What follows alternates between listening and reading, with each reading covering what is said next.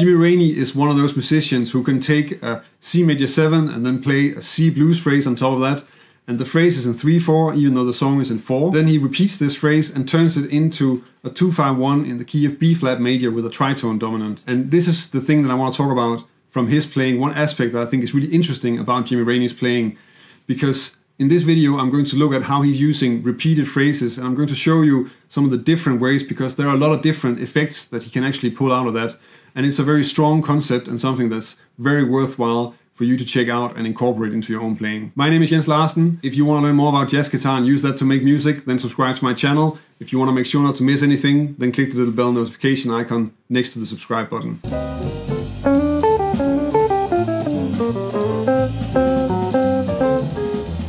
This first line already contains two examples of how Jimmy Raney is using repeated melodies within his solo playing. And I think that's already saying a lot because this is of course only a three bar example, so it's a fairly short amount of time where he's already using two different lines that he's repeating. Uh, the example that I'm using here is from his solo on Billie's Bounce, which is a blues in F.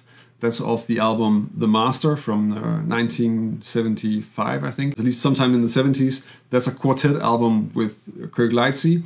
And I'm using that solo and I'm also using some examples from the album Raney 81, which is with his son. That's also a quartet album. I tend to prefer the later Jimmy Raney albums, mostly because he's a little bit more interesting rhythmically, in my opinion, there. But of course, uh, taste may vary, so you might like the earlier. His career is long enough. Anyway, so the first example here is on the final 2-5 in the F blues and we're coming in on the G minor bar and he's really just playing a four note melody and then repeating that. So he starts on the one end and then and then does just exactly the same again.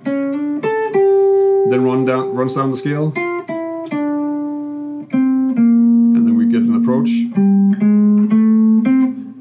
And then actually so we have that first repetition, the scale one, and then after that we get the another repetition where he's playing sort of a three quarter motif and then putting that on top of the 4-4. So we get the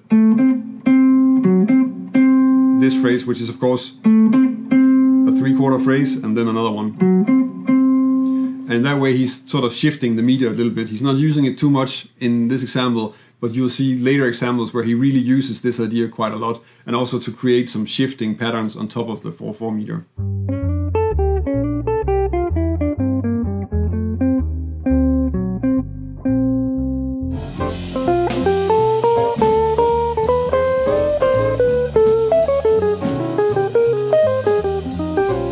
The second example here is actually a lot longer than it has to be because sort of what I'm talking about as the main part of the video is of course the repeated phrases and the motifs and that's at the end of the line. But I included the first part as well uh, just because I really like what it sounds like and also because I think the fact that he's playing this really long uh, melody that's pretty much purely on the offbeat is something that's quite typical for him and also just illustrates how he uses rhythm in a, in a very nice way. And uh, the first part of it is really just this really very basic blues phrase on the F7. So, um, and then we get this whole long, just scale melody on the offbeats. So there's nothing too interesting in the melody itself, ex except for the fact that it's all offbeats, and that creates some tension. So he's really using rhythmic tension here. Then he moves into um, eighth note line on the in bar four, which I'm not sure if actually they play. I didn't check if they play B7, but uh, it's an F7 altered, or he's maybe thinking he's probably thinking B7 here. And the line is coming out of two triad uh, melodies. So first an A major, and then C sharp minor, and this of course neatly resolves down to a G on the B flat seven, and then here he is playing first the G, so the 13, and then moving up to the root. And then this is encircling the A flat. And from the A flat he plays exactly the same melody, but now it's just a half step lower. But the fact that the, he first adds this encircling of the A flat means that the whole line is shifted uh, one quarter note. And that's kind of what makes it work and what makes it interesting.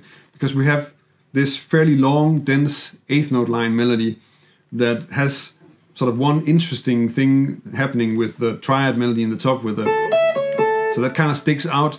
And then he's using that, so he's repeating that idea, and we can hear it comes back, but he's not putting it in the exactly same uh, spot rhythmically, and that makes it interesting because if you if you just had some sort of melody and then played first a B B7 line like, and then just repeat that on the B flat seven, that's way too predictable, and that gets boring really quickly. But here it's it's a it's a lot more vague. Also, it's not so clear as what I was just playing, but it's also just shifted, and it behaves in a different way than what we expect, and that makes it interesting. That makes it work really well.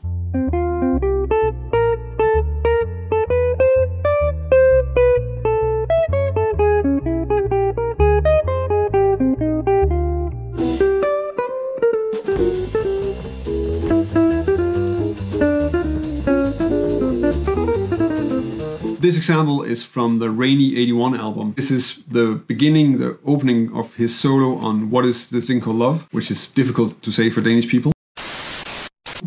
And um, I included the pickup also because I think he kind of sets up the melodic idea that he then keeps on using and actually uses to create the first eight bars of the solo. So we get the pickup as being just really C major, all of it. So, and then we get this rhythm that's So the idea is that he's really using the dotted quarter note and the eighth note. And then once he's on the G half diminished, we get this chromatic encircling of the root. The same on the F minor. And then also on the, and I think he's really just sort of thinking the bass line here. So he's sticking with the G, and then we get, he's skipping the C, plays the F, and then he's actually also thinking of F minor with E flat in the bass down to D half diminished, but now he's beginning to move the harmony around. So here he's playing across the bar line, and we get on the third beat the. So he's coming out on the E flat, which I think he's just thinking as sort of a bass note, but he's actually coming out on top of the D half diminished, and then we get the D in the middle of that bar. And then from here he goes into a G7 line that he actually pulls in to halfway through the C major line and then resolves to the third beat. So what we have here is he's really setting up the rhythm in the first part of it, turning into sort of a small motif of enclosures and then just playing those through and also shifting them through the, the rest of the A part and finally just turning it into sort of a bebop line with an alto dominant and resolving that back to the C major.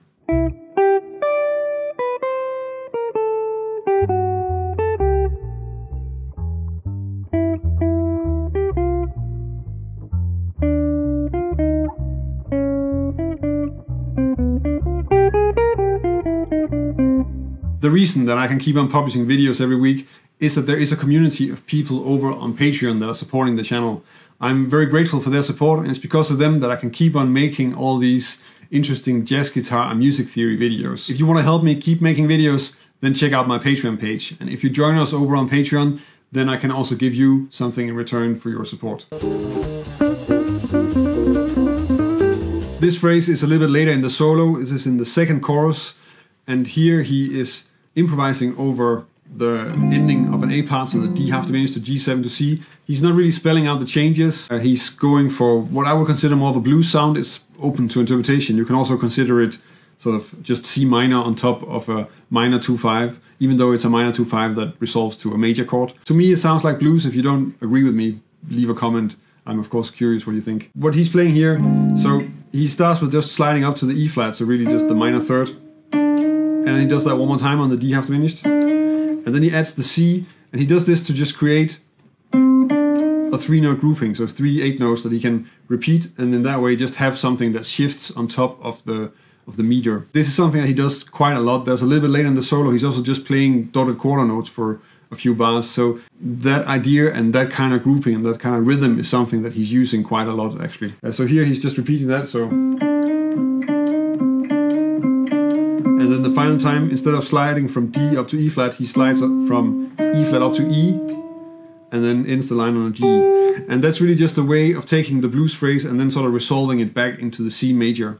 So he's a little bit using the blues phrase as a sort of dissonance or tension on top of the 2-5 and then just resolving back into the, the C major 7.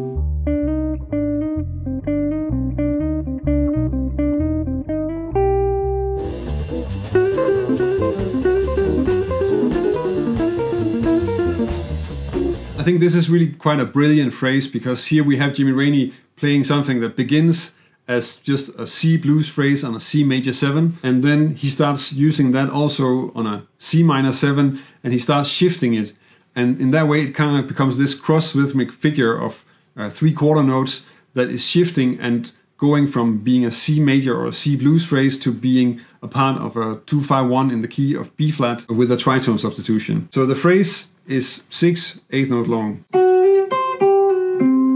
This phrase, and it is of course just like a C power chord with a leading note, which is the blue note.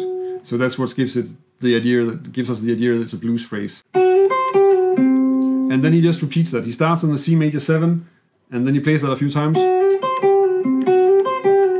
then we get to the uh, C minor, he can just play it again, so. Moving down to essentially a B7. It's, I think they're playing F7, but it is essentially a B7, just the same phrase, a half step down. And then resolving that to B flat by just playing the same phrase a half step lower.